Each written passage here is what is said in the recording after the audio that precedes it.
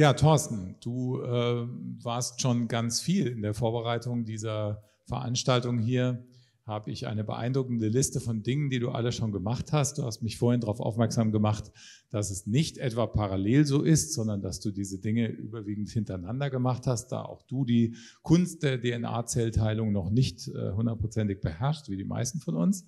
Aber du warst, also du bist äh, Transformationscoach, Trainer, teilst insofern diese Welt äh, mit uns. Du warst aber auch Wirtschaftsmathematiker und bist auch Professor gewesen, Lehrender, ja, und ähm, bist insofern auch ja, ein, ein, ein bisschen ein Wanderer zwischen den Welten und dich interessiert, glaube ich, auch die Fragen des Wandels sehr stark und welche Welt äh, wir aufbauen werden. Welche, in welche Welt willst du uns reingucken lassen heute? Das ist meine Frage an dich und damit übergebe ich an dich. Thorsten, bitte.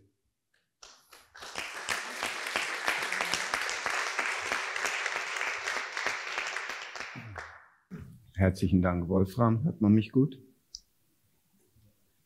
Moin.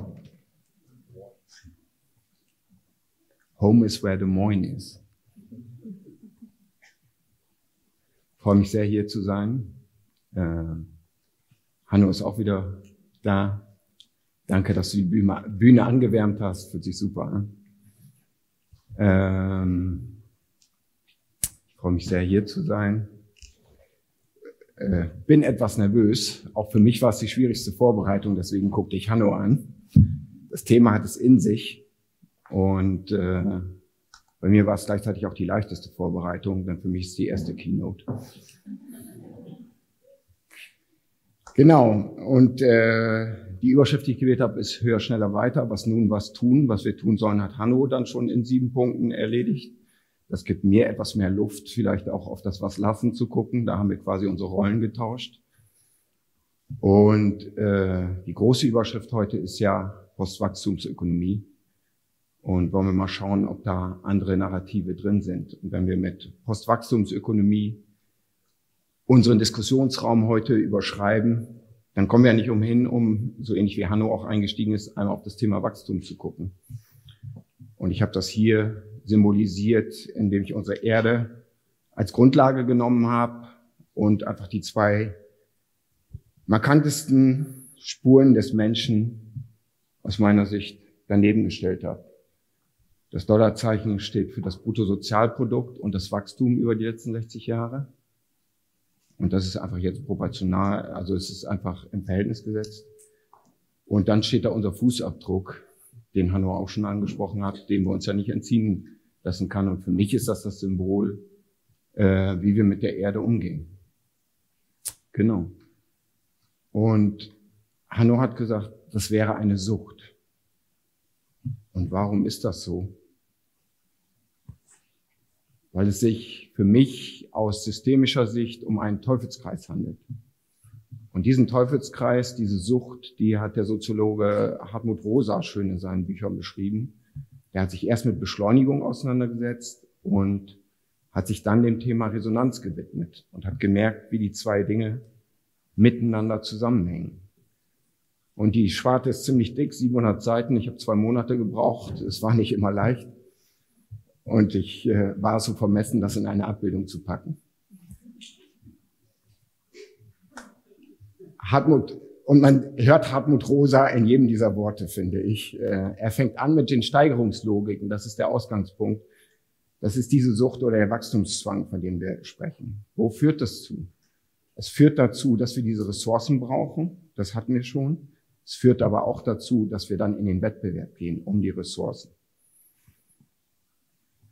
Und dann kommt etwas, was wir vielleicht teilweise auch kennen. Letztendlich fühlt sich das dann manchmal wie ein Alltagskampf an. Ne? Ich muss Familie managen, ich muss in den ICE zum nächsten Beraterjob, ich muss sehen, wie ich meine Kunden kriege und wie ich meine Mäuse verdiene. Und wenn es dann allzu frustig ist, dann gönne ich mir vielleicht dann die Reise oder irgendeinen anderen Konsum, vielleicht auch zum Teil zur Kompensation. Auch wir sind nicht alle vor der Entfremdung, die man in so einer Beschleunigungs- und Entfremdungs äh, Verdinglichungsspirale manchmal erleben kann. Auch in den Systemen, die uns ja auch, auch was mit uns machen. Davor sind wir nicht gefeit.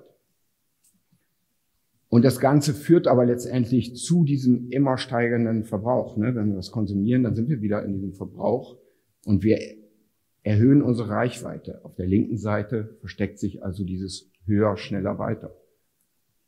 Früher sind wir mit dem, äh, mit dem VW Käfer maximal bis Italien gefahren und Hartmut Rosa hat, das, hat den Begriff Reichweitenvergrößerung gewählt für das Ganze, dass wir einfach mehr wollen, immer mehr und immer schneller und einfach auf diese Verfügbarkeiten setzen und dass es so weitergeht. Wie sieht das im Unternehmen aus? Ich glaube, es sieht noch immer in einigen Unternehmen aus, wie hier das in dem parallelen Teufelskreis skizziert habe. Die Theorie X hat Douglas McGregor äh, 1960 entwickelt und die Überschrift seines Buches ist schön, The Human Side of Enterprise die menschliche Seite im Unternehmen. Vielleicht war er einer der ersten, der darauf gekommen ist, äh, die mal anzuschauen. Und ich glaube, viele von uns sind in seinen Fußstapfen unterwegs, die menschliche Seite im Unternehmen. Und er hat festgestellt, dass es in vielen Unternehmen ein Klima gibt, wo dem Mitarbeiter nicht getraut wird, wo davon ausgegangen wird von einem negativen Menschenbild, nämlich der Mensch sei faul. Wenn der Mensch faul ist, heißt es, lieber mal nachschauen, Kontrolle ist besser. Vertrauen ist gut, Kontrolle ist besser. Wie heißen die Sprüche? Und dann äh, kommen wir in etwas, was dem Mitarbeiter sehr auf die Finger schaut, was ihn nicht gerade motiviert, sondern oft demotiviert oder sogar frustriert, innere Kündigung, all solche Sachen. Vor allen Dingen führt es aber auch dazu, dass er sagt, okay, wenn ich irgendwie so einen engen Rahmen habe und Mitdenken nicht erwünscht ist, dann mache ich das auch nicht. Dann mache ich die kleine Sache, für die ich in meinem Kästchen eingeteilt bin. Und da seht ihr in der Mitte die Pyramide und die Kästchen.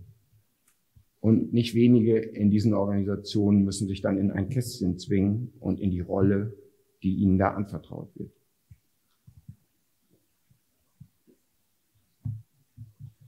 Und in Summe ist das, was wir in der Betriebswirtschaft tun, wo wir im Kleinen denken, das ist gut, wir müssen die Zahlen erreichen, wir müssen unser Produkt rausbringen, wir müssen das Marketing machen.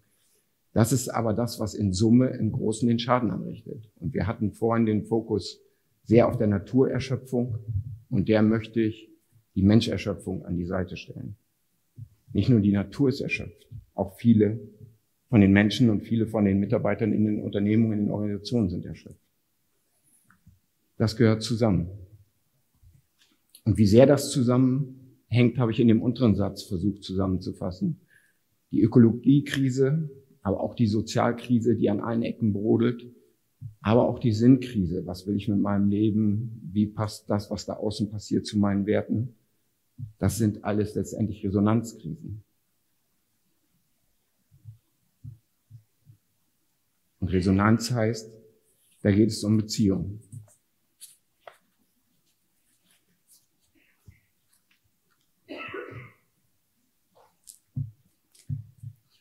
Die gute Nachricht, ich versuche dann doch ein bisschen Hoffnung zu verbreiten, ähm, ist, Douglas McGregor ist nicht stehen geblieben bei der Theorie X. Das war ein bisschen das Menschenbild, was sein Vater verkörperte.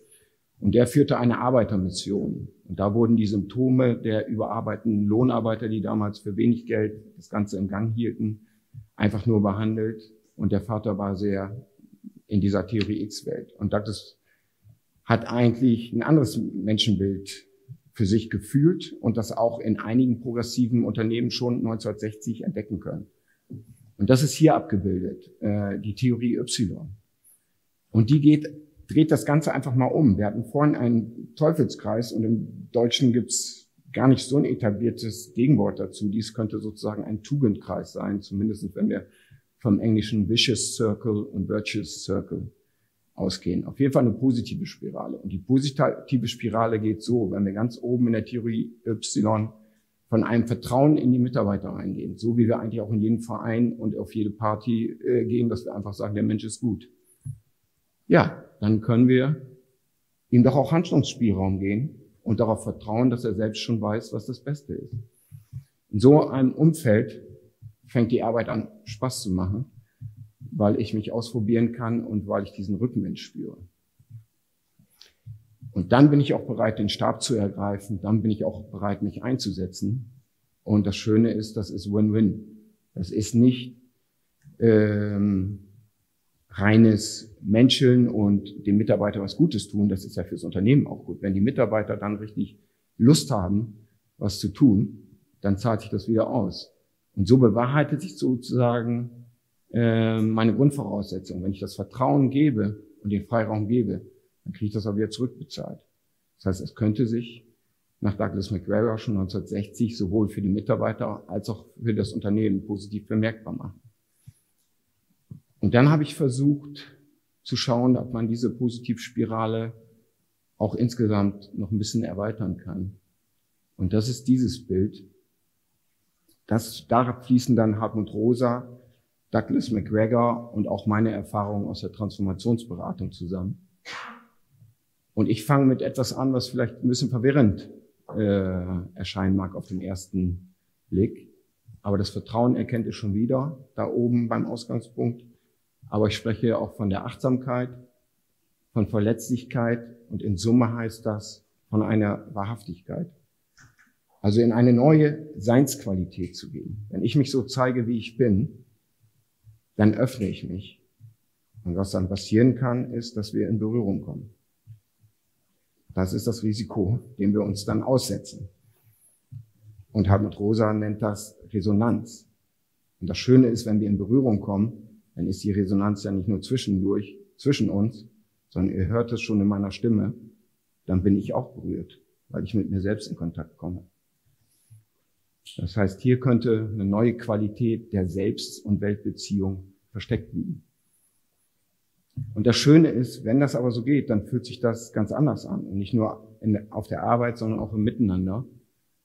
Und dann komme ich auch in meine Kraft und meine Selbstwirksamkeit. Und dann bin ich auch offener, wenn ich eine gute Ausgangsbasis habe durch diese Vertrauensspirale, dass ich auch für den Wandel offen, offener bin. Weil dieses Sperren gegen den Wandel ist ja eine Angstreaktion. Wenn ich aber insgesamt in diesem positiven Setting bin, Ihr würdet vielleicht sagen, in einer, in einer positiven Rückkopplung, Feedback-Schleifen, da gibt es ja ganz viele äh, Fachbegriffe und Blicke dafür. Dann komme ich zu sowas, was Selbstwirksamkeit und Transformation befördert. Und dadurch werde ich aber auch ermutigt, mich beim nächsten Mal ebenso wahrhaftig oder vielleicht noch offener zu zeigen, mich berühren zu lassen und den Schritt weiterzugehen. Das heißt, meine erste These ist, dass der Kipppunkt für den sozialökologischen Wandel darin liegt, wie wir miteinander umgehen oder wie der Manager ins Team hineinruft, so schaltet es zurück. Denn wir bewirken alles Wirkliche. Jetzt muss ich mal gucken, ob ich doch irgendwie die Karte finde. Ach, ich suche die ganzen Bonbons nicht, ich lasse es einfach fließen. Schauen wir mal. Was ich versucht habe zu zeigen mit den Folien vorne, ist, dass das große Thema Resonanz, was auf sehr viel Resonanz gerade stößt, ähm, mit dem Feldern, in dem wir sind, die ja doch oft mit New Work, Agilität und ähnlichen Qualitäten überschrieben sind, sehr viel gemeinsam haben. Beides ist letztendlich ein anderer Seinszustand, der sich lebendiger anfühlt. In dieser alten Theorie X-Welt dominierte halt die Entfremdung. Und hier kann es lebendiger werden. Und das schließt dann vielleicht ganz gut an, wenn wir das Äußere verändern wollen und hier sitzen so viel kompetente Systemiker, dann komme ich nicht um den Inner Change herum. Es fängt bei mir selbst an und es fängt in meiner Beziehungsarbeit an. Und um das dann in den anderen Dimensionen zu frame, ist, äh, überall hängen die Sustainable Development Goals Development Goals, die SDGs.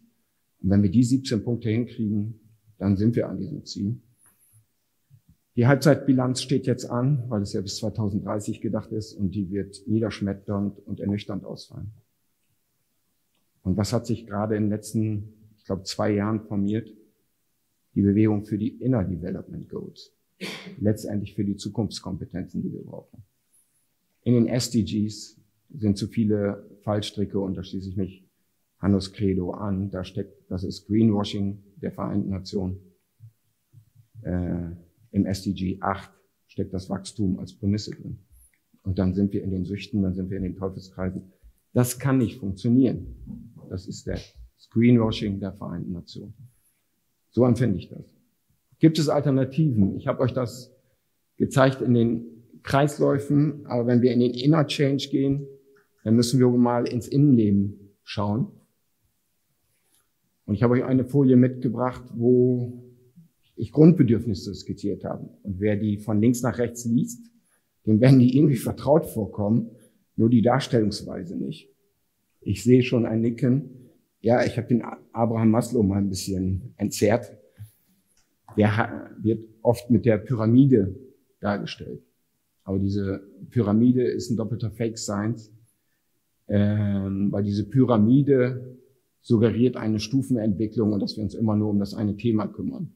In, Wahrhaft, in Wahrheit, das hat irgendein Unternehmensberater in irgendeinem Buch gemacht und seitdem verteilt sich das über die Welt. Und Maslow hatte eigentlich immer die Grundlage, dass alle Bedürfnisse parallel da sind, dass vielleicht aber eines in einer gewissen Lebensphase oben präsent ist, was das Dominierende ist. Aber wir sind eigentlich alle multi, multi, multi, motivational. Das ist ein schwieriges Wort. Ich versuche es für euch nochmal multimotivational unterwegs. Ich muss mir was Einfaches ausdenken. Und auf der linken Seite seht ihr das, was es braucht zum Leben. Äh, ja, erstmal muss man eine Existenzsicherung haben, man will aber auch eine Jobsicherheit oft haben. Und irgendwann, wenn das gesichert ist, dann regt sich aber auch das Bedürfnis nach Zugehörigkeit auf der Arbeit, im Verein, sonst wo, in irgendwelchen Peer Groups. Und letztendlich kommen wir dann an eine interessante vierte Säule, was viel gepredigt wird, auch auf LinkedIn, sage ich da aktuell, spannende Diskussionen. Nämlich, ist es noch zeitgemäß und wie wichtig ist es, dieses Lob an die Mitarbeiter, diese Anerkennung zu verteilen? Oft hörte man, da, da ist richtig Need nach. Ja, dass der Need danach da ist, das sieht man hier. Was aber spannend ist, die ganze linke, dunkel gefärbte Seite kommt aus einer Mangelmotivation heraus. Ich brauche die Existenz und die Sicherheit erstmal so als äußeren Halt. Und das andere, diese Zugehörigkeit und Anerkennung, das soll mir von innen Stabilität geben. Aber ich komme eigentlich aus einer Bedürftigkeit heraus und das ist auch ganz normal und das ist auch in Ordnung. Und für viele Prozesse ist es auch gut. Wie auch das, was wir auf dem Weg gemacht haben, zu dem Zeitpunkt die richtige Wahl war. Wir wollten effizienter, wir wollten mehr Wohlstand. Das hat ja auch alles seine Berechtigung. Was Maslow dann rausgehauen hat, und damit ist er durch die Decke gegangen, war die fünfte Welle. Und das ist die der Selbstverwirklichung. Das fühlt sich schon besser an. Maslow hat gesagt, das ist einzige Motivation, im Gegensatz zu den anderen vier genannten, wo es nicht um eine Defizitbeseitigung geht, sondern wo ich mal ein bisschen Raum kriege, mich zu entfalten. Und gegen Ende des Lebens Maslow hatte auch einen äh, Herzinfarkt erlitten und hat seine letzten Jahre nochmal intensiv genutzt, das, was ihm wichtig war, nach vorne zu schieben. Hat er ein sechstes Thema nach vorne geschoben. Und ich habe mich gefreut, vorhin auch schon bei Hanno das Wort Transzendenz zu hören. Und das heißt Selbsttranszendenz. Weil in der fünften Schiene, wenn ich mich selbst verwirklichen kann, ist es erstmal schön, mich zu entfalten.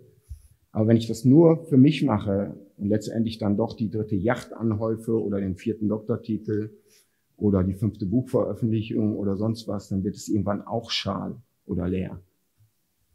Und es wird erst erfüllend, wenn ich es mit anderen teile. Und das ist hinter dieser Selbsttranszendenz äh, entdeckt. Wenn ich also nicht mehr in dieser individualisierten Blase bleibe, weil dieses linke, die linken vier, die halten die, diesen Wirtschaftskreislauf so wunderbar in, in Anerkennung, weil ich bin ständig in der Existenzsicherung, bin aber auch ständig in dem Anerkennungsbedürfnis und dann bleibe ich in diesem Hamsterrad. Aus der Lohnarbeit auszusteigen ist fast unvorstellbar. Ich weiß, wovon ich spreche. Ich habe drei Sabbaticals in den letzten 15 Jahren ähm, eingelegt und dann hatte ich immer ein Jahr lang, wo ich auf die Frage, was machst du, geantwortet habe, nichts. Es löst Befremden aus und fühlt sich manchmal ein bisschen einsam an.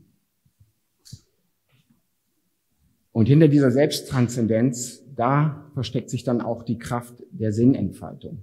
Ich bin nicht in der Selbstentfaltung nur, sondern ich bin in der Sinnentfaltung. Maslow war sogar in Diskussion, in äh, wissenschaftlicher Diskussion mit Viktor Frankl, den viele kennen. Ähm, und bei Frankel heißt dieses Sinnverwirklichung. Das ergänzt sich ja schön. Nach der Selbstverwirklichung die Sinnverwirklichung. Und das ist ein Pfad, den ein Mensch nehmen könnte, den vielleicht aber auch eine Organisation nehmen könnte. Und wenn wir ganz optimistisch wären, vielleicht sogar auch eine Gesellschaft, also in den ich gehen kann, den wir gehen können, den die Welt gehen kann.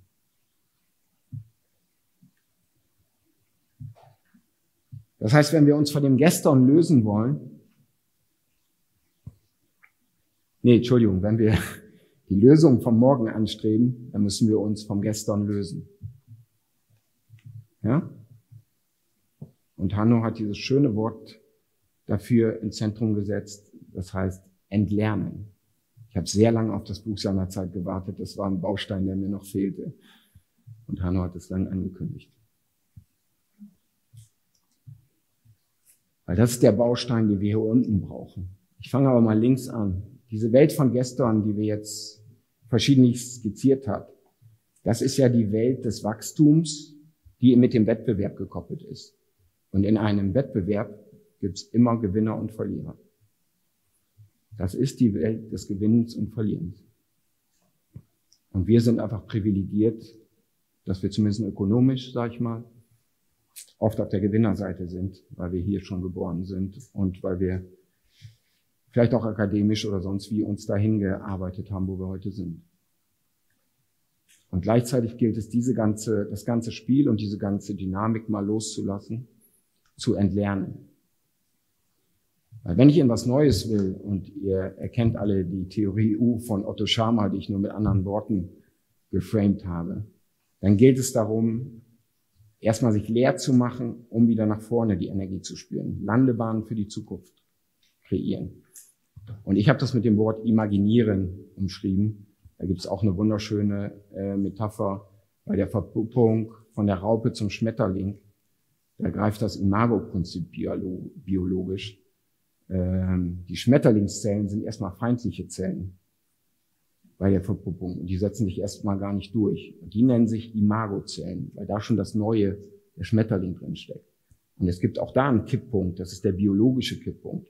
Wenn die sich vernetzen, dann werden sie in der Gesamtheit irgendwann übermächtig, die Raupenzellen sterben ab und die Schmetterlingszellen setzen sich durch. Kurz nach meinem Buch ist dazu auch ein Buch entschieden, äh, das leider nicht den Titel Imago-Prinzip äh, trägt, sondern die Magie der Transformation von Reza Rasavi. Ich habe es noch nicht geschafft, das zu lesen, liegt auf einem großen Stapel. Und wie sieht es dann morgen aus? Äh, für mich ist das morgen eine Entfaltungswelt. Wir brauchen mehr Räume zu entfalten. Und ich bin froh, dass wir heute auch einen Entleeren, Lern- und Entfaltungsraum hier vorfinden, indem wir das in tiefer inhaltlicher, aber auch in tiefer Beziehungsqualität machen können. Und letztendlich müssen wir uns ausprobieren. Dann kann ich eigentlich hier aufhören, weil die Workshops sind ja angerichtet. Und da könnt ihr euch ausprobieren und könnt die vielen verschiedenen Pfade, die in die Zukunft führen mögen, einfach mal anführen. Und darum geht's. Loslassen, anführen. Das Alte ein bisschen mal zur Seite stellen äh, und in was Neues ausprobieren. Ach so, schön, dass der Pointer gerade nicht geht. Das, nicht ergeht, aber dass ich nicht richtig gedrückt habe. Otto Schama, Theorie U. Otto Schama ist in der Nähe von Hamburg auf dem Bauernhof aufgewachsen, war Waldorfschüler und hat in einem seiner Bücher verraten, dass die Theorie U in ihrer Essenz auch und wesentlich auf Rudolf Steiner zurückzufinden ist. Und ich finde, da schließt sich ein schöner Kreis für mein Gefühl. Und das Spannende ist sogar, dass es dann zwischen Douglas McGregor 1960 und Sharma in den 2000ern einen Brückenmensch gab, der heißt Edgar Schein. Der war Schüler von McGregor und Mentor von Otto Sharma. Offensichtlich hat das Ganze was miteinander zu tun. So, jetzt mal schauen, ob ich doch mal blättern kann. Yes. Ähm, wir haben das gestern, heute und morgen gesehen. Und das ist ein bisschen erschlagend auf den ersten Blick. Versucht nicht, das alles zu verstehen und in der Tiefe zu genießen, aber ich wollte es wesentlich noch anteasern. im letzten Drittel meines Vortrags. Die erste Zeile ist, glaube ich, einigermaßen zugänglich. Ich habe gesagt, gestern herrschte dieser Theorie X, dieser Teufelskreis der Verdinglichung und Entfremdung und der Reichweitenvergrößerung. Und nach meiner Meinung sind wir heute mit 60 Jahren Vorlauf dabei, die McGregorsche Theorie Y mehr in die Praxis zu bringen. Das heißt, aus der Old Economy dem ein New Work entgegenzusetzen. Und so können wir die Spalten dann auch nach unter, unten gehen. Das heißt, wir sind in einer sozial-ökologischen Transformation, die uns von der klassischen Ökonomie wegführt. Und die spannende Frage ist, wo führt das alles hin? Aber ich bleibe nochmal auf der linken Seite. Die klassische Ökonomie ist die der Individualisierung und des Konkurrenzkampfes, letztendlich des Egoismus oder des Survival of the Fittest. Und was ist das denn, was wir heute versuchen mehr zu etablieren und was sich in so Kreisorganisationen, soziokratischen Netzwerkstrukturen einfach besser schon anfühlt? Da steckt schon mehr Altruismus drin und äh, Rutger Brickmann hat den Begriff Survival of the Friendliest in seinem Buch im Grunde gut. Und das hat mir gut gefallen, ein Survival of the Friendliest als Nachfolger vom Survival of the Fittest. Und ganz schwierig ist eine Projektion nach vorne. Also das hier ist keine Vorhersage, dann ist es einfach mal eine utopische Skizze, um das mal vorzuführen. Weil wenn wir in dieser mittleren Säule sind, dann besteht die Gefahr, dass wir nur uns vom Gestern wegbewegen. Und was wir hier vielleicht schaffen zusammen, ist, verschiedene Bilder des Morgens zu generieren, die uns auch attraktiv erscheinen, die uns hinziehen. Und irgendwo sich hinzubewegen, macht viel mehr Spaß, als sich nur von irgendwas entfernen zu müssen. Und diese neue Kultur, die deute ich nur an. Äh, Abraham Maslow hat in diesen letzten zwei, drei Lebensjahren eine Theorie Z entworfen, die er nicht zu Ende führen konnte. Und da hat er einige Komponenten eines sinnvollen Seins umrissen. Da geht es auch um Spiritualität. Da geht es einfach um anderes Seinszustände, als wir sie bisher kennen. Bei Breg, äh, nicht bei Bregmann, sondern bei Bergmann, das ist der andere, der Fritjof, hängt bei uns allen das New Work. Der Titel des Buches ist aber New Work, New Culture. Und wir üben uns sehr viel in New Work. Und äh, Bergmann ist leider gestorben, aber er sehnte sich nach diesem New Culture. Nicht aufzuhören, das Neue nur in den Unternehmen zu bringen, sondern das als neue Basis für unser kulturelles Miteinander zu sehen. Und den Begriff der Ökonomie und Ökologie habe ich die Ökosophie an die Seite gestellt, die Weisheit des Haushaltens. Das andere ist ja das Gesetz des Haushaltens oder die Logik des Haushaltens. Lass uns einfach die Weisheit der Natur vertrauen und wieder in regeneratives, zyklisches Denken und Fühlen kommen. Und dann sind wir irgendwann beim Holismus oder ich habe das dann auch ergänzt, Survival of the Fairness dann besteht eine Chance für ein Survival of the Whole. Nicht mehr nur the fittest und the friendliest, sondern für alle. Ähm, oben die Abbildungen sind jetzt nicht selbsterklärend aus, aus allem, ähm, aber ich möchte eben auf den Fußabdruck eingehen. Was heute passiert, wir versuchen den positiven Impact mehr zu messen. Und das stärkste Symbol, was ich dafür gefunden habe, ist der Handabdruck. Der wurde in Indien in so einer Pioneers of Education mäßigen Session entwickelt und das ist eigentlich der Handabdruck einer kleinen elfjährigen Inderin. Und die haben das in der äh, nachhaltigen Bildung sozusagen entwickelt als, das ist ein Symbol, was ich Positives tue. Sozial, ökologisch, wie auch immer. Und das passt gut als nächste Stufe für heute.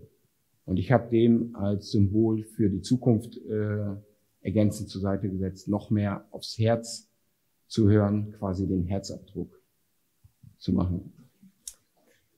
Und hier nochmal eine zweite Aufstellung, äh, weil ich wollte den Rosa auch abrunden. Wenn ihr die dritte, die mittlere Zeile euch anschaut, dann kommen wir von der Entfremdung, versuchen heutzutage mehr Resonanzräume zu machen. Yoga auf der Arbeit gibt's auch schon. Die ganzen Sachen sind im Kommen. Und äh, parallel mit Hanno glaube ich, dass wir noch mehr in die Entfaltung und Transzendenz gehen können. Und damit in die Essenz abkommen oder in dem, was ich Herzabdruck genannt habe. Und was es heute so schwierig macht, ist, dass diese positiven Entwicklungen, die wir sehen, die wir vielleicht auch versuchen mit zu initiieren und wo es so tolle Bewegungen gibt. Und ich fange nicht an, irgendwas aufzuzählen, weil es einfach zu viel Gutes gibt. Ich hoffe, dass noch diese stärkere Vernetzung, das Imago-Prinzip greift. Aber das, was wir tun, das ist das Richtige, aber es ist noch in dem falschen Gesamtsystem. Und deswegen fühlt sich das so schwierig an, weil das die Schmetterlingszellen sind in der alten Raupen-DNA. Und die werden erstmal bekämpft. Frederick Laloux, der heute noch nicht zu Wort gekommen ist, nannte das äh, Friendly Aliens. Das heißt, wenn wir in diesem anderen Miteinander und in diesem anderen Haltung daran gehen, dann fühlt sich das für die alte Welt da draußen manchmal ein bisschen komisch und seltsam an. Wie sich zum Beispiel eine Stille eines Meetings erstmal seltsam anfühlt. Eine Zusammenfassung von dem, was ich versucht habe, hier wirklich nur skizzenhaft mal anzudeuten, ist aber ein ganz starker Erkenntnis, finde ich. Verbessern wir unser soziales Klima, verbessert sich auch das Weltklima. Und da gibt es schon lange Erkenntnisse zu, dass die Staaten, die eine gleichere Vermögens- und Einkommensverteilung haben, diejenigen sind, die auch am nachhaltigsten wirtschaften. Noch nicht grün, aber nachhaltiger als die, wo das Gap immer weiter auseinandergeht. Und dass das Gap in Europa, USA und so weiter immer weiter auseinandergeht, ist ja klar. Und mir gerne noch einen zurückbleiben, bitte. Danke. Oder habe ich das jetzt gedrückt? Egal. Ähm, und das findet sich interessanterweise in dem neuen Report vom Club of Rome. Letztes Jahr war 50 Jahre Grenzen des Wachstums, 2022. Und die haben das neue Ding genannt Earth for All. Und die haben fünf Säulen entwickelt für Zukunftsfähigkeit. Und ich glaube, die ersten zwei, die werdet ihr äh, schnell wiedererkennen und einen Haken dran machen. Das ist Energie. Äh, klar brauchen wir den Wandel dort Richtung Regenerativität. Das zweite ist Ernährung. Das ist ja jetzt auch stark im Kommen und einfach wird immer mehr Konsens, dass wir je äh, weniger tierisch wir entwickeln, dass das riesige Impact-Verhältnisse hat für äh, das Ökosystem. Das dritte ist die Armutsbekämpfung, an der wir schon lange dran sind. Und man sich fragen kann, wie weit sind wir da gekommen? Da ist das Glas manchmal halb voll und manchmal halb leer aus meiner Perspektive. Und das vierte und das fünfte, die sind interessant. Das vierte ist die Ungleichheit zu bekämpfen oder in der positiven Formulierung eine gleichere Welt anzustreben. Und das heißt nicht, alle sind gleich, aber die Unterschiede kleiner zu machen, damit es allen gut geht. Und das ist beim Club of Rome, die mit Grenzen des Wachstums und mit der Ökologie anfingen, die sind jetzt einfach auch im sozialen und im Beziehungsraum deutlich angekommen.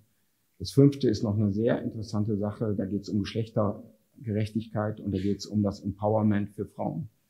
Weil es auch da logische Deduktionen gibt, dass wenn die Frauen ähm, endlich besser unterstützt werden, gerade auch in den benachteiligten Ländern, dann haben sie mehr Zugang zu Bildung, kriegen in der Regel weniger Kinder und das ganze System stabilisiert sich. Die Frauen halten die Gesellschaft zusammen und haben da eine unglaubliche Rolle, die ja wenigstens in den Diskussionen mal langsam auch mit Care-Arbeit und tausend anderen Faktoren in, und Equal Pay und, und, und, und wenigstens diskutabel ist, aber auch Equal Pay kommt schon aus, aus dem Ende des 19. Jahrhunderts. Damit hat jemand die Bürgermeisterwahl in New York verloren.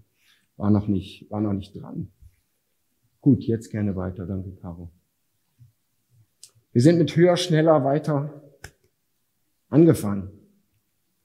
Und ich habe schon gesagt, ich würde gerne dem ein bisschen hoffnungsvolles Narrativ schon entgegensetzen können, auch wenn ich nicht genau weiß, was da kommt. Und aus dem, was ich gesprochen habe, habe ich drei Sachen kristallisiert. Die Achtsamkeit, die ist schon in aller Munde. Und wenn ich achtsam bin, dann bin ich das meist in mehreren Dimensionen. Ich bin achtsam mit mir selbst, wenn ich gerade in die Meditation gehe. Ich werde aber meistens auch achtsamer im Kontakt und vielleicht sogar auch im Naturkontakt und im Weltkontakt.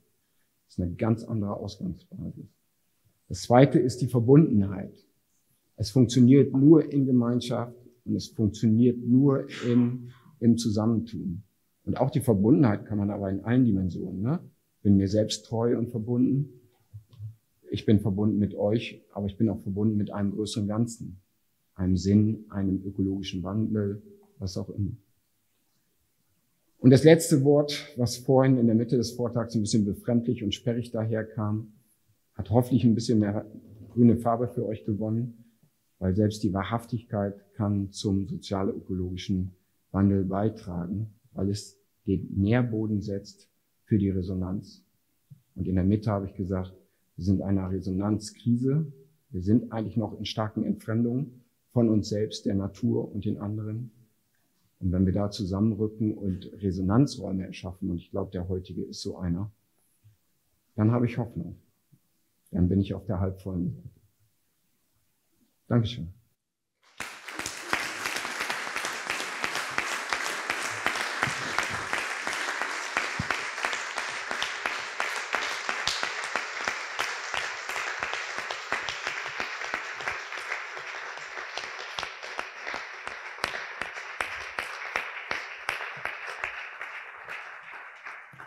Ja, lieber Thorsten, ja, vielen, vielen lieben Dank für diesen hochinspirierenden Vortrag, bei dem auch wieder, also ich dir da so zugehört habe, das ist so eine Reise, die, die du auch mit uns unternommen hast.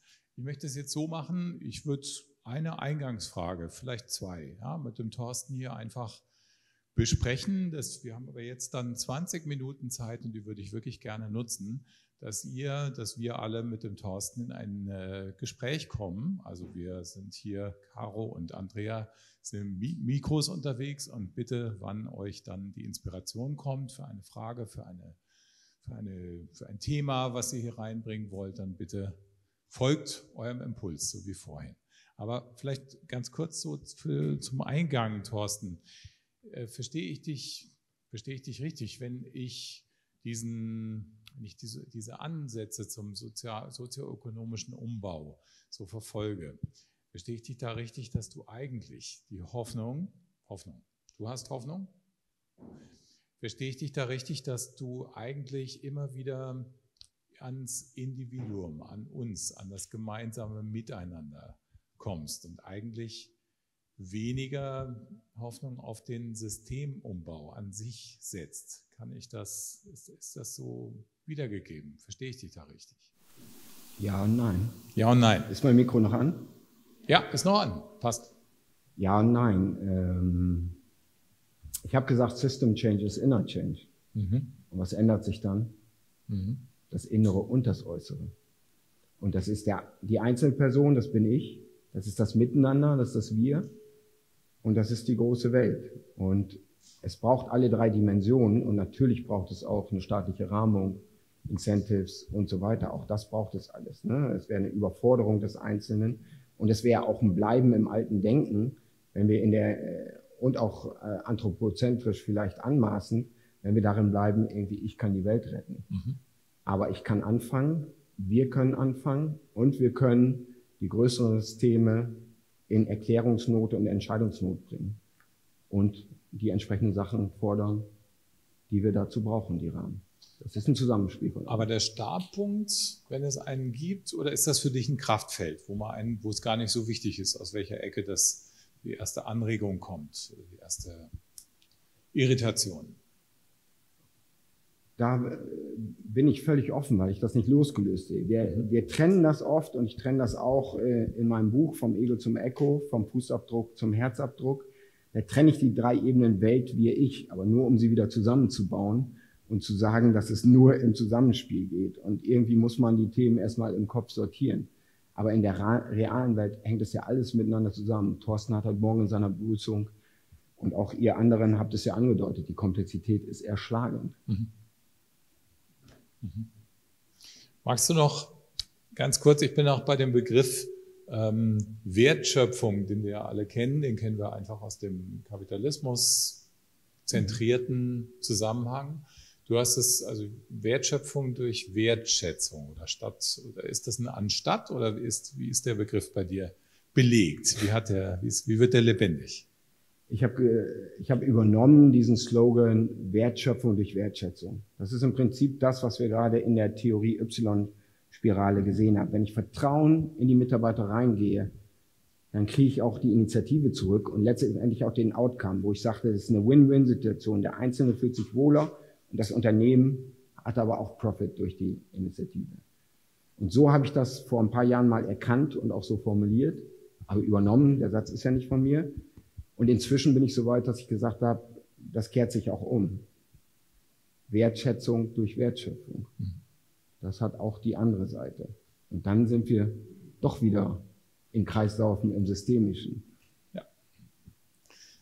Aber ich erlebe dich so, dass du die Hoffnung nicht aufgibst, dass tatsächlich im Bezug zum, im Bezug untereinander viel Gutes entstehen kann, ein, eine Wandelpotenziale entstehen kann. Das ist eine der Quellen, wie vorhin genannt. Du kannst immer in die drei Dimensionen springen. Und das Spannende ist, wir sprechen vom Ich, aber wir wissen ja, dass das eine absolute Illusion ist. Der Mensch existiert nicht im Singular. Wir existieren nur miteinander, wir entwickeln uns nur miteinander und wir können nur miteinander. Und von daher ist der Individualismus und die Singularität äh, Kopfgebräu, aber nichts Lebendiges. Gut. Ich gucke mal ein bisschen, ich spähe mal ein bisschen in den Raum, ob ich hier Bewegung sehe. Hm, ja, bitte. Gerne, Tina. Vielen Dank an euch beide für uns hier gedanklich abholen. Ich hänge ein bisschen an deiner Tabelle mit dem gestern, heute, morgen, mhm. ähm, weil in der Tabelle sieht es ja so aus, als wäre das zeitlich voneinander getrennt und so ist es ja nicht, sondern es findet ja alles jetzt schon heute statt. Ja. Und wir sind ja hoffentlich alle in Kontexten sowohl von gestern, heute als auch morgen eingebunden. Und was ich mich frage, und da genau wäre ich neugierig, deine Antwort zu hören, wie gehst du mit dir um in dem immer wieder dich we ähm, im Wechsel zwischen in einem Kontext sein, der schon wie morgen funktioniert, dich in Kontexte bewegen, wo die Welt noch wie gestern ist? Also wie schaffst du es, das hin und her für dich selber einzuordnen und dich immer da jeweils sinnstiftend einzubringen? Da habe ich kein Patentrezept, da habe ich schlechte und gute Tage. Wenn ich in den Systemen von gestern bin, dann geht es mir nicht immer gut. Und gleichzeitig ist es das, wo sie sind und was uns auch hier hingebracht hat, dass wir uns in diesem Luxus und in dieser Fülle bewegen. Mhm. Von daher ist es der Versuch äh, einer Akzeptanz, äh, die mal besser und mal schlechter gelingt. Ich bewege mich viel in dieser mittleren Schiene und du hast aber absolut recht, es ist alles parallel, aber ich brauche es halt sozusagen, um es überhaupt zu benennen und veranschaulichen zu können. Und mein Ansinnen war aber auch für das Morgen erste visionäre Begriffe, weil wir suchen hier ja auch nach Diskussionssubstanz. Dafür brauchen wir auch Worte. Hanno hat uns das Wort Entlernen geschenkt und ich habe ihm noch ein paar an die Seite äh, gestellt, damit das Morgen sich auch zieht. Und mich persönlich zieht es enorm in diese Welt von morgen. Und ich habe, glaube ich, eine Spalte hier äh, eine Zeile für euch unterdrückt aus dem Buch, aber die lautet, in der ersten Spalte ist es eine Welt des Habens. Das ist ja offensichtlich. Die zweite habe ich auch aus Hannos Buch, eine Welt des Entwerdens. Auch ein Begriff, äh, den man nochmal setzen lassen kann. Und dem dritten habe ich ganz einfach das Sein entgegengestellt. Und dann habt ihr Erich Fromm, was ja auch sehr gut passt, mit Haben und Sein. Und dem habe ich, natürlich klingt es dann bei mir polar, aber es kann ja nur miteinander, ne? ohne ein Haben auch kein Sein. Das sind ja äh, die Grundbedürfnisse, äh, die wir haben. Aber ich versuche mich mehr in die, die Sachen des Seins zu bewegen.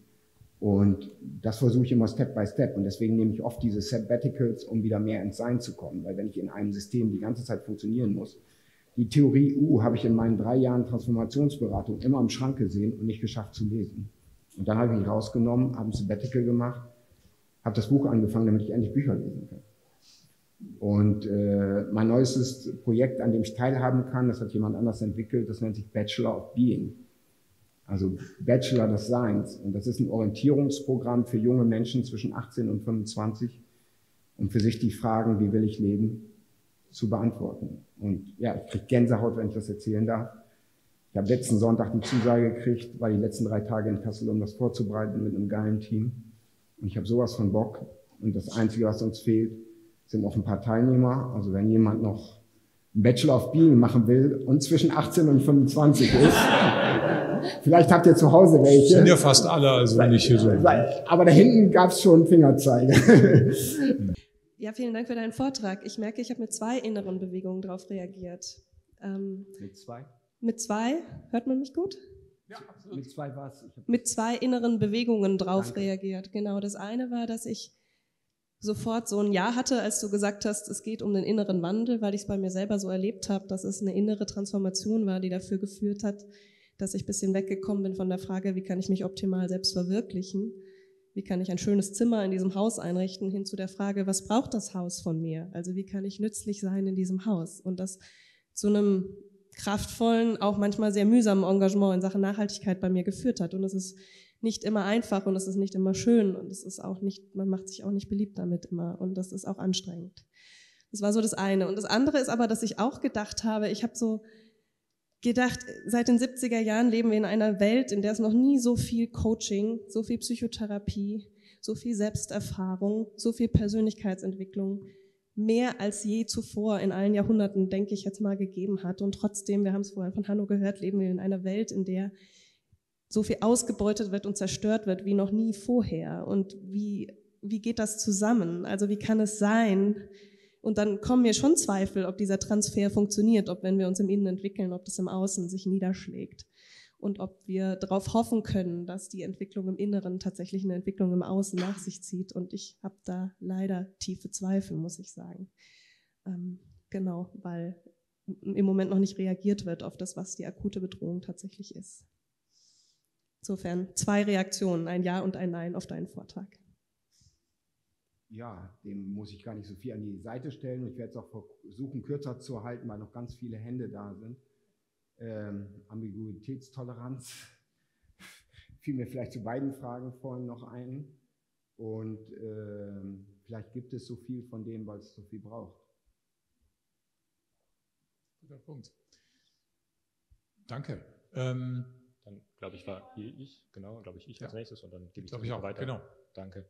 Ja, danke für den Vortrag. Ähm, ich bin hängen geblieben bei der Wellen, bei dem Wellendiagramm. Ich spreche. Hi. Matthias, Entschuldigung. Kein Problem. Ähm, ich bin hängen geblieben bei dem Wellenbild. Und ich bin, einen Teil meines, meines Lebens darf ich in einer Bürgerbewegung verbringen, die mehr oder weniger der Theorie Y entspricht, wo sich Menschen versuchen zu verwirklichen und tatsächlich was gegen die Krisen unserer Zeit, mit den Krisen unserer Zeit zu tun. Mhm. Und was aber, was, was ich dich fragen wollte, war, wie würdest du Selbstverwirklichung oder sogar Selbsttranszendenz in einer Gruppe beschreiben? Also wie, wie, wie funktioniert, wie passiert Selbstverwirklichung ähm, so, dass sie, dass, sie das, dass sie in Gesellschaft funktioniert? Denn ich bin bei meiner Vorrednerin, das ist mir ein bisschen zu individualistisch gedacht. Also diese, dieses Diagramm, so wie es da steht. Wir brauchen irgendwie Wege, wie wir das gemeinschaftlich tun, diese Selbstverwirklichung. Denn, jetzt komme ich wieder auf mein privates Beispiel, da treten halt massive Konflikte auf. Und vielleicht kannst du was dazu sagen, was deine Erfahrungen sind mit so Konfliktmanagement oder mit dem Umgang mit Konflikten in Organisationen jeglicher Couleur, in denen Menschen plötzlich Initiative zeigen dürfen, können, wollen und dann aber Konflikte auftreten. Wenn wir keinen Chef mehr haben, der sagt links, rechts, sondern Bürgerbewegungen sind, die das Beste will und trotzdem gibt es verschiedene Perspektiven darauf, was das Gute ist. Mhm. Und jeder sich selbst verwirklichen möchte und wir am Ende dastehen und potenziell sogar einen emotionalen Scherbenhaufen haben. Was machen wir dann? Äh, du bist am Anfang nochmal auf die Wellen eingegangen und bist auf der rechten Seite gelandet bei der Selbstverwirklichung und Selbsttranszendenz und hast dich gefragt, wie das im Kontext gehen kann. Und meine äh, Ansicht ist, dass wenn ich ich selbst sein kann in einem Kontext, und so haben wir das versucht im Transformationsrahmen zu bauen. Wir haben sichere Räume gebaut, in denen die Mitarbeiter nicht in ihren Rollenhüten reingehen, sondern in denen sie als Matthias, Tina, Thorsten, Silke reingehen und sich da ganz anders zeigen können, eher so, wie sie sich im Verein und zu Hause zeigen. Das heißt, die Grundlage für die Verbundenheit ist, dass ich erstmal bei mir selbst auch ankommen kann. Das heißt, diese Freiräume, die sind in beiden. Ich kann nicht selbst sein, ich kann nicht selbst aber sein in einem wahrhaftigen Wir dann auch. Ja? Also die Sachen, ich, ich sehe dich noch zweifeln. Im Zweifel müssen wir es dann nachher anschließen und gerne weiter diskutieren. Aber ich sehe die beiden in Verbundenheit und habe das, hab das so erlebt. Und deswegen habe ich Verbundenheit auch als zweiten Wert geschrieben, ja. Dass das keine individualistische Show ist, sondern dass Verbundenheit ist das Mittlere, was das Ganze zusammenhält an der Stelle. Und Konflikte, ja, ich habe überhaupt keine Ahnung von Konfliktmanagement, von daher wäre jede, jede Antwort äh, vermessen. Ich habe aber einen interessanten Begriff gelernt und der der heißt Creative Tension. Das, das heißt so viel wie kreative Spannung. Die Frage ist, steckt in dem Konflikt vielleicht eine produktive Spannung, die man nutzen kann? Weil da kommen ja alte Sachen, da kommen Emotionen, da kommen Wünsche, Bedürfnisse zusammen. Und ist in einem sicheren Raum, den man bildet, wo jeder so sein kann, äh, wie er ist und wo ich äh, reelle Zukunftsaufgaben im Team am Lösen bin, ist da dann nicht vielleicht auch der Raum, diese Schleifen zu, zu drehen und dadurch ein neues Miteinander auch zu erlernen. Weil das, wo wir hinwollen, fällt ja nicht alles äh, vom Himmel, sondern wir müssen die alten Sachen entlernen und neue Tugenden lernen.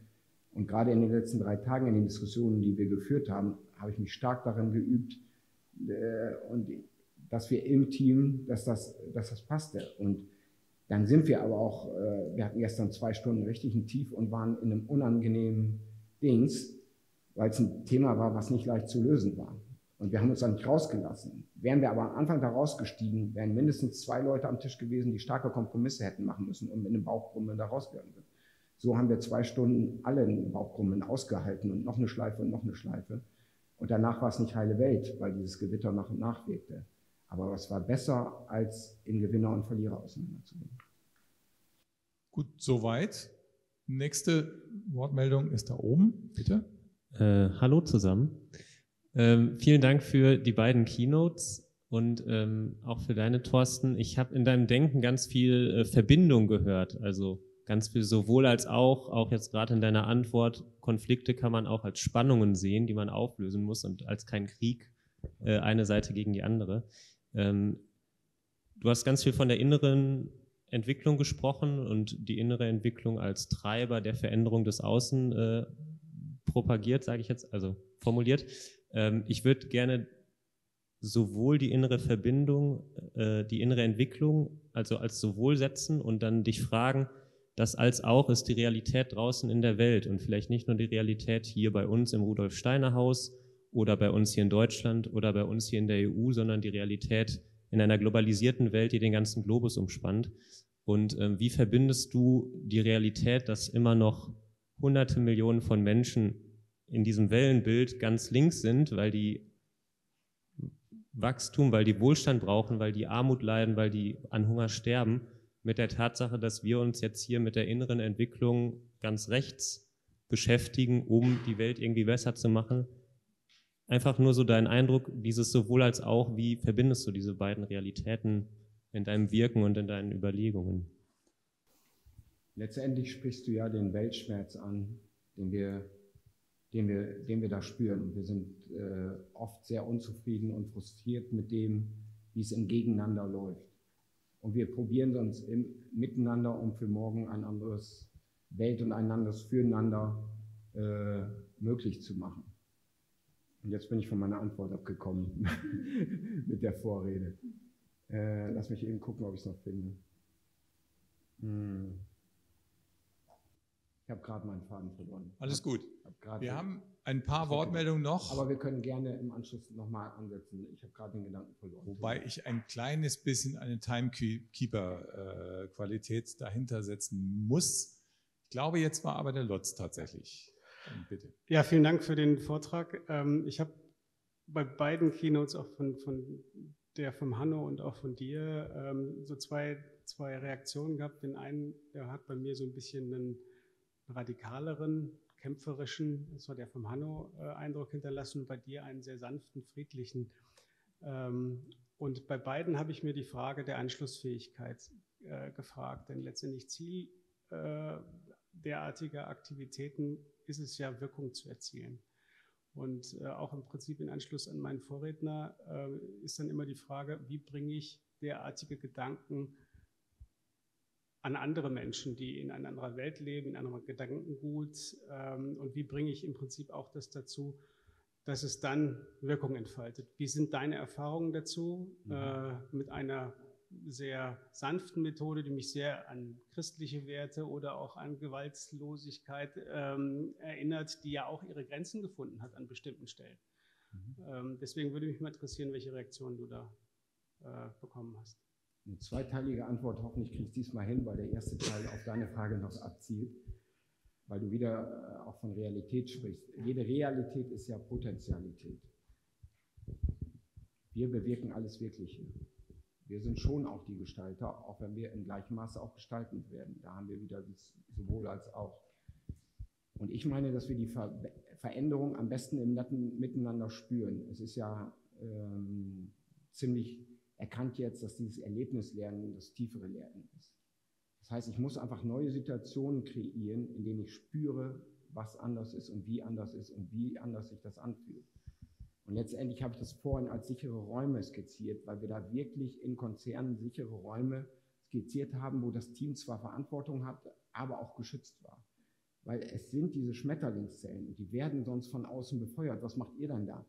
Äh, Yoga und Händchen halten und Kaffeekränzchen und auf Flipcharts. Das kennen wir ja alle als Dings. Das ist auch dieses Friendly Aliens von, von Lalu. Und das ist extrem schwierig in großen Organisationen von gestern, das Neue da zu implementieren, weil wir, wenn wir da Begleiter sind, haben ja auch eine Verantwortungspflicht für die Einzelnen, für die, für die Zellen des Neuen gegenüber und mit dem Alten. Und ehrlich gesagt habe ich da keine fertigen Antworten sozusagen, wie wir das Neue und Alte da verbinden können. Und meine, meine Denk- und Haltungs- und Ansatzweise ist da, gemeinsam mutig in schrittweisen Experimentierraum zu gehen.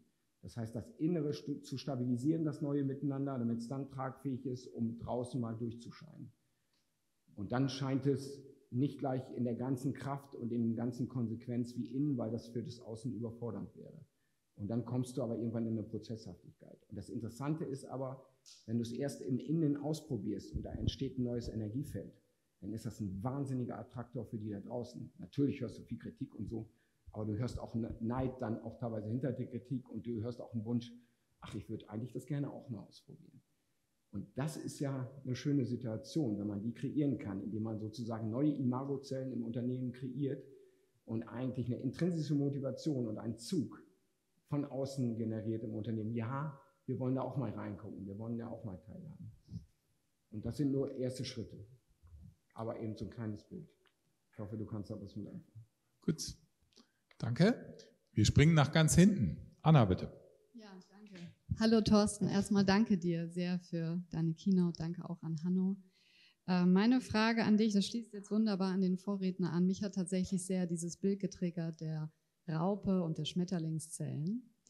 Und ich habe viel mit Menschen, mit Entscheidungsträgern zu tun, die aufgrund ihrer Rollenaufträge dass, wie sie mandatiert sind, äh, die Systemgrenzen, in denen sie sich bewegen, äh, für sich sagen, ich kann nicht der Schmetterling sein, ich kann nicht eine dieser Zellen sein. Es ist nicht passend.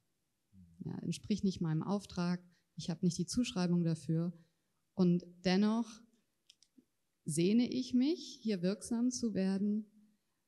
Was kann ich tun? Und das würde mich interessieren, ob es in deinem, äh, der Vorredner hat das äh, sanfter Ansatz genannt, ob du da auch in de, in, innerhalb deiner Communities, ob es da schon Dialog zu gibt, was können die Machthabenden, die Mächtigen, die Aufsichtsräte, die Geschäftsführer, die Politiker innen, bei allem innen auch. Ähm, vielleicht magst du uns da, wenn da schon was da ist, da noch ein bisschen teilhaben lassen. Das würde mich sehr interessieren. Danke. Ja, ich möchte nachträglich auch noch die ganzen Innens äh, anhängen, die ich möglicherweise überschlagen habe. Vielen Dank. Ähm, da bin ich zum ersten Mal skeptisch. Wenn die Verantwortlichen im Unternehmen, die Führungskräfte, die die Vorbildfunktion haben, nicht bereit sind, das Schmetterlingsgewand anzuziehen, dann ist das der größte Hemmschuh im Unternehmen. Dann ist es irgendwie, ihr habt eine kleine Experimentierschule, ihr könnt da was machen, wir gucken mal, ob da was entsteht. Das hat eine große Chance für eine Totgeburt, wenn da nicht irgendwie andere Energien und Möglichkeiten sind. Von daher hatten wir das Glück in Settings, dass wir mindestens einen Schmetterling auf der obersten Führungsebene gefunden haben, der sich dazu bereit erklärt hat. Und dann muss man immer noch sehr behutsam mit den ganzen Themen umgehen. Aber es braucht in dem alten System auch einen sichtbaren Führungsschmetterling, äh, weil sonst wird das als Experimentierraum und nicht Ernsthaftigkeit abgetan. Und dieser Führungsschmetterling hat auch die Verantwortlichkeit, den Raum zu halten.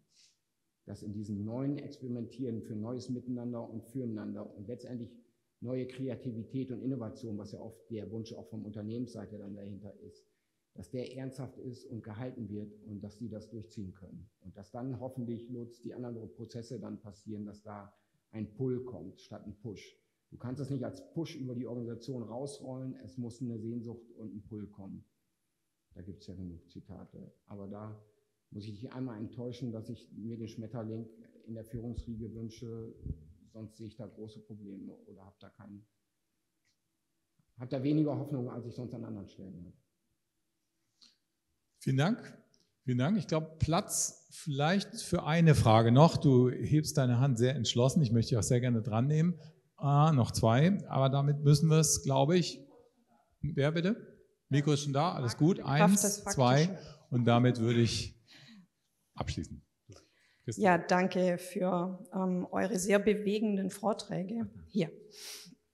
Ich bin Christine ähm, und ich bin gleichermaßen verstört und hoffnungsfroh, ähm, wie ich hier jetzt so sitze. Und wenn ich gerade diese Übersicht hier anschaue und äh, uns als Plenum auch angucke, ist das ja auch etwas, wo wir alle sehr privilegiert sind.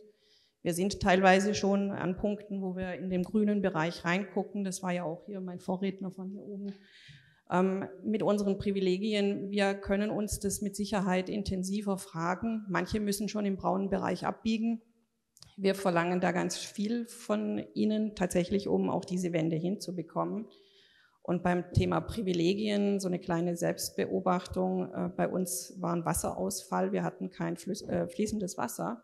Und ich habe dann gemerkt, wie hart es ist, auf Privilegien zu verzichten. Also ich war da richtig gehend wütend auf Systeme, auf was auch immer. Und bevor wir darüber nachdenken, ähm, was die anderen machen könnten, möchte ich noch mal gerne die Frage stellen, wie schwer fällt es uns denn selbst, tatsächlich auf diese täglichen Privilegien auch zu verzichten, um genau dahin zu kommen, dass wir Imagozellen sind, damit wir diese Vision von dem Haus, das du aufgemacht Hanno, hast, Hanno, ähm, tatsächlich auch zu verwirklichen. Und das ist kein einfacher Weg, glaube ich. Und, und diese Räume von Verlernen, die dürfen auch diese Emotionen, glaube ich, auch äh, im Raum halten dürfen. Da braucht es diese sicheren Räume, um genau darüber zu sprechen, dass man tagtäglich auch manchmal an sich selbst scheitert ähm, einen hohen Anspruch und eine hohe Erwartung an sich selbst hat und der teilweise selber nicht gerecht wird. Und wir gehen dann in die Organisationen und predigen den anderen, was sie zu tun haben, wo wir selber mit strugglen. Also das ist für mich auch nochmal ein Punkt, der hier reingehört und der auch vielleicht zu weiteren Austausch und Diskussionen anregt. Es fängt tatsächlich auch mit uns selber an und sich des Gewahrwerdens, dass das kein einfaches ist. Danke. Vielen Dank für den sehr intensiven und breiten Input. Maya Göpel spricht von Deprivilegierung. Da müssen wir hin. Das ist dieses Kultur des Genug. Äh, da kommen wir nicht umhin. Und äh, was mir bei deinem Sprechen kam, ist, wir sind von Natur aus sehr dankbar, wenn es gut ist. Manchmal nicht, mehr, nicht mal das, weil wir es als selbstverständlich und verfügbar ansehen, wie das warme Wasser. Ich bin irgendwann im letzten Jahr auf die Erkenntnis gekommen, eine interessante Energie hat die Verbindung zwischen Dankbarkeit und Gut, wenn wir sie umdrehen. Das heißt, wenn ich mein Dankbarsein spüre und dahin gucke, dann hat es eine gute Chance, gut zu sein.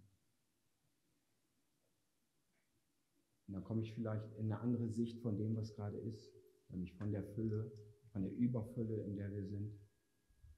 Und vielleicht tun sich da auch ein, dann Wege in ein Genug drin. Also Nico Pech fällt mir da ein, ein bekannter äh, Hochschullehrer mit Suffizienz und so weiter. Bei dem habe ich das Gefühl, der lebt das auch. Und es ist viel leichter darüber zu reden, als das zu leben. Und von daher muss ich dann erstmal fünf Jahre wieder schweigen. Okay, danke schön. Eine Wortmeldung haben wir noch, dann müssen wir weiter. Ja, hi. Ähm, weiß nicht, ob ihr mich hören könnt. Genau. Ähm, ich gehe noch mal einen zurück, denn alles, was wir jetzt von der von der Mangelmotivation kommend ähm, und diese diese Generation des mehr, mehr, mehr. Wenn wir jetzt sagen, mehr ist vorbei, dann ist ja im Menschen sofort das Gefühl des Verlustes. Da wird ja was weggenommen, weil es plötzlich aufhört, mehr zu werden. Und was für Anreizsysteme gibt's? Ja, also wie kriege ich Leute dazu, dass sie überhaupt Bock haben, Schmetterling zu werden?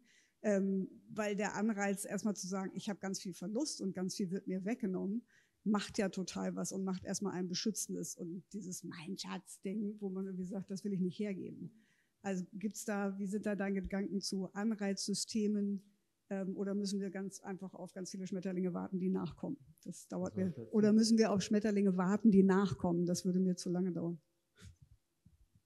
Ich habe das Gefühl, dass da viele Schmetterlinge nachkommen. Ich würde mir noch mehr wünschen, aber ich finde es Wahnsinn, was sich da tut in den jüngeren Generationen. Bin jetzt auch froh, dass ich dann intensiv mit der Generation zusammenarbeiten kann. Das ist ganz berührend, wie die unterwegs sind und ja auch mit dem kämpfen, mit dem wir kämpfen, aber nochmal am Anfang ihres Lebens, nicht mit den Werkzeugen und Erkenntnistools, die wir haben. Und was du ja ansprichst, ist quasi der Weg von der Sucht weg, die Hanno hatte. Und mir kam gerade die Assoziation, du kommst nur von der Sucht weg, wenn der anderen sucht. Da, da fragst du dich jetzt mit der Sehnsucht. Wir kommen von der Sucht weg mit der Sehnsucht. Sehnsucht nach was anderem und was Neuem. Und vielleicht hilft es, wenn wir es nicht nur immer als weniger äh, titulieren, weil dieses Genug ist mit der Dankbarkeitsbrille immer noch eine Wahnsinnsfülle. Und wenn wir, wenn wir das erkennen und das ausprobieren, das Schöne ist, in diesen neuen Räumen sind die Geschenke unsäglich. Ich verdiene jetzt weniger als vor 20 Jahren zu Beginn meiner Karriere in so einem gemeinnützigen Setting. Und ich bin beschenkt mit 18- bis 25-Jährigen, die sich auf den Weg machen. Ist, ist eine andere Bezahlung ist, äh, mit Wertschätzung. Ich glaube, da haben wir jetzt noch viele, viele Wörter und Ebenen nochmal einmal anders geframed zusammengekriegt. Ich hoffe, dass es ein bisschen passt. Sehr schön. Vielen Dank. Ein hoffnungs, hoffnungsvolles Schlusswort. Herzlichen Dank, Thorsten.